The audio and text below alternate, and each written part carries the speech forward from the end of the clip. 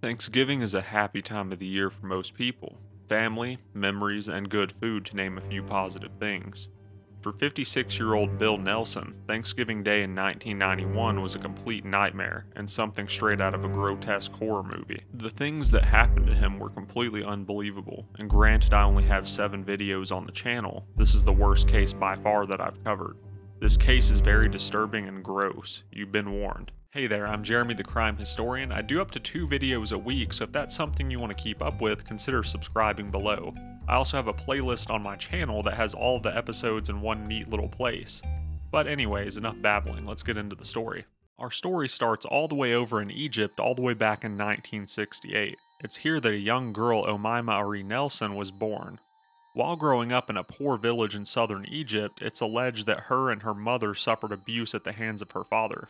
According to Omaima, her father was said to be abusive both physically and sexually towards her and her mother. When she was young, she was subjected to a female circumcision against her will. This made any sexual encounters painful and traumatic from that point forward. Being scared and fed up with the abuse, Omaima's mother left her abusive husband and took Omaima with her.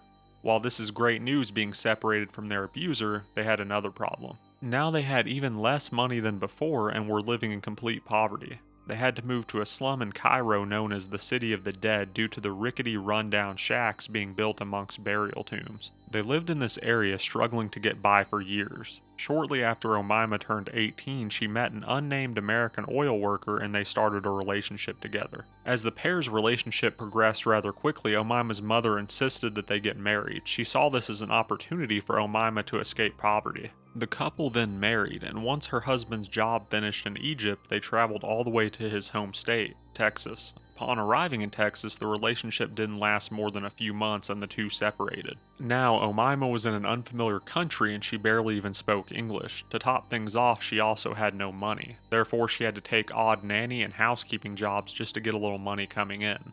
This wasn't enough and she turned to petty theft. Occasionally, due to her good looks, she was also able to pick up a few small modeling jobs, but these were few and far between.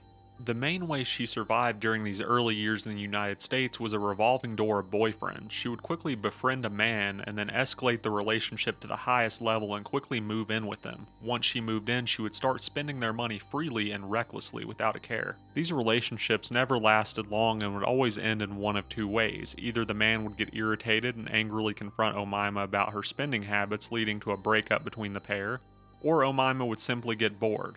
No matter how the relationship ended, though, Omaima would rob them before disappearing from their life. There was one relationship during this stretch that ended much differently than the others. In 1990, Omaima got with a man named Robert Hansen. The relationship ended much like the others in an argument, however, when it was convenient for her, Omaima tied Robert to a chair and then proceeded to threaten him with a shotgun to his face. While he was still tied up, Omaima robbed him of all of his valuables before disappearing from his life. After some time of going from place to place, in the fall of 1991, she ended up in Orange County, California. While there, she entered a bar and saw a few men playing pool. As she observed them, one man caught her eye. He was a 6'3, 230 pound boisterous guy. He was waving a huge wad of cash and was bragging about the large amount of land he owned back in Texas. This man was 56 year old Bill Nelson, a former pilot. Omaima approached Bill and the pair quickly hit it off. Despite Bill already being legally married to another woman, the two had a quick wedding before departing on a honeymoon through Texas and Arkansas to meet Bill's family. Bill's family was very skeptical and suspicious of the 23 year old Omaima, believing her to only be with Bill for his money due to the large age gap between the pair. Regardless of these inner thoughts, the trip ended without much incident.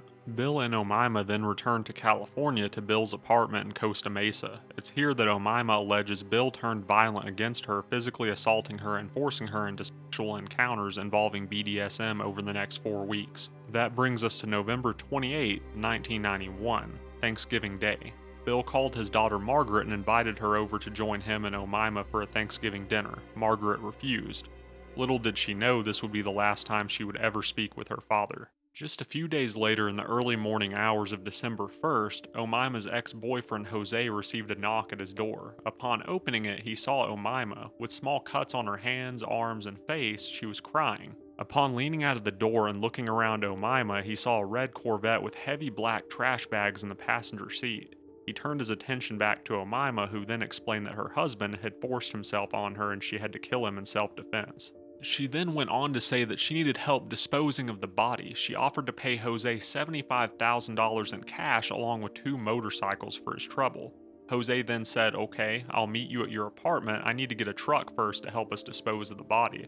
Omaima accepted this answer, but when she left, Jose turned around and called the police. After the call, police located Omaima in Bill's Corvette and stopped her. Upon looking inside the vehicle, the officer saw trash bags in the passenger seat. Investigating the bags further, he found what looked to be human lungs inside. Police brought her in for questioning, and Omaima claimed the organs were from someone that Bill Nelson had killed. She went on to claim that Bill was on a business trip in Florida. Not buying her story one bit, the police obtained a warrant to search the couple's Costa Mesa apartment, and what they found inside was absolutely horrifying. Once inside the apartment, officers noted there were numerous boxes of computer parts piled up. Not out of the ordinary, as Bill did computer repair work on the side. However, the officers started moving the boxes and performing their search. Almost immediately, they noticed suitcases crammed inside of some of the larger boxes mixed in with computer parts.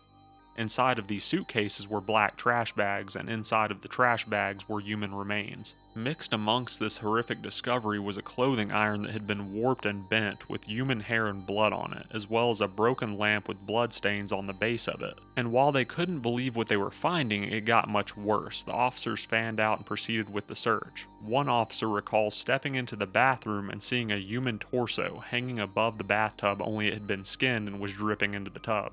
Meanwhile, in the bedroom, there was an extremely bloody mattress, thin ropes littering the ground, and broken bedposts where someone had been restrained and attempted to break free. The kitchen was by far the worst area. Upon looking into a deep fryer that was on the counter, they saw two human hands floating in the oil. They looked in the trash and saw human meat mixed with turkey meat and cranberry sauce. Lastly, the freezer held another grisling discovery. Once the frozen vegetables had been moved aside, there was a large object wrapped in foil stuck inside a blue container. Inside of the foil was Bill's head. It had been cooked. This information found at the crime scene was relayed back to the police station where they pressed Omaima for further details. She flip flopped her story and was acting quite strangely. At first, she insisted Bill was still alive, but then minutes later, she claimed a demon had made her kill her husband.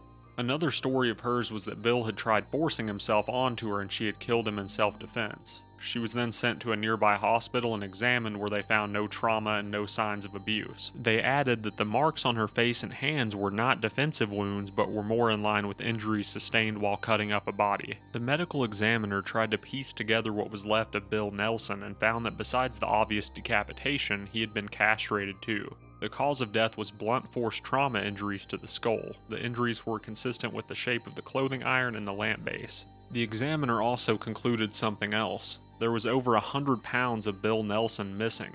Lining up with this disturbing revelation were reports from neighbors that said the garbage disposal in the Nelson apartment had been running for about two days beginning on Thanksgiving evening. From what authorities were able to piece together through evidence, on that Thanksgiving night, Omaima lured Bill to the bedroom with the promise of adult activities. He was then tied to the four bedposts, and something ensued afterwards which led to Omaima stabbing him with scissors in the neck, hitting him with the clothing iron in the head, and finally, when that broke, she used a nearby lamp. The end result of these attacks was the death of Bill Nelson. Omaima then went to work dismembering Bill. His head was stored in a cooking pot and boiled. His hands were removed and put into a fryer to remove his fingerprints. The torso was skinned and hung to drain above the bathtub. Any other organs and additional meat were thrown into various trash bags or fed down the garbage disposal. As other parts were removed, they were mixed into trash bags along with turkey meat and cranberry sauce to disguise them.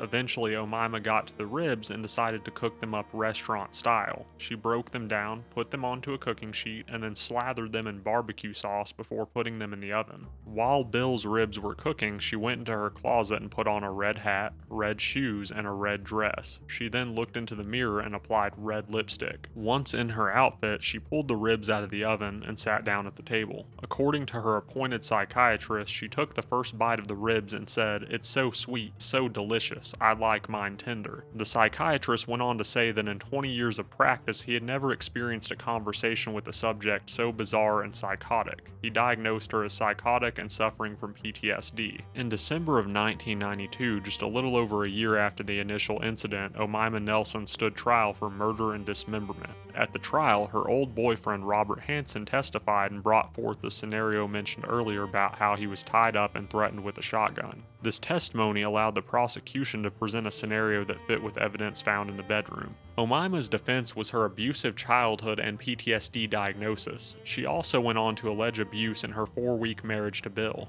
She said she had no memory of dismembering Bill. Additionally, she said spirits of ancient Egyptians spoke to her and acted through her. She claims these spirits told her that if he was dismembered, he couldn't go on to the afterlife to haunt her in the future. In January of 1993, the jury deliberated for six days before acquitting her on first degree murder charges, but found her guilty of second degree murder charges and guilty in the assault of Hansen. She was given 28 years to life and is currently serving her sentence in the Central California Women's Facility in Chowchilla. She came up for parole in 2006 and 2011 and was denied both times due to the parole board deeming her an unpredictable and serious threat to public safety. During her time in prison, she began a long distance relationship with a 70 year old disabled man. They married and were allowed conjugal visits before he passed away. His passing left Omaima with an unspecified large amount of money. She will be up for parole again in 2026. Hey guys, that's about all I have for you today in this case. It was a pretty bad one to say the least, but if you enjoyed it, you guys know what to do.